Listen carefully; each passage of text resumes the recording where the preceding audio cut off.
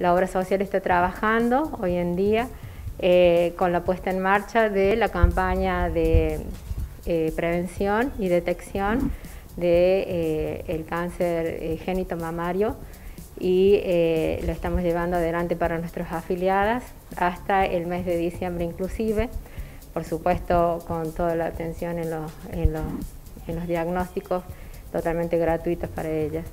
Además, eh, estamos también poniendo a disposición de nuestros afiliados un servicio bastante anhelados y demandados por nuestra comunidad universitaria, que ha esperado mucho tiempo, que es el servicio de emergencia.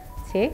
Eso viene a dar tranquilidad, no solo en este momento, sino eh, para siempre ya, si esto lo podemos llevar adelante, va a estar alcanzado a todos los afiliados de la capital, del interior de la provincia, y eh, también va a contar en, ese mismo servicio con un servicio de sepelio. Entonces, eh, las prestaciones son bastante importantes. Eh, la emergencia va a estar cubierta en el primer y en el segundo y en la atención médica dentro del domicilio si fuese necesario en la emergencia.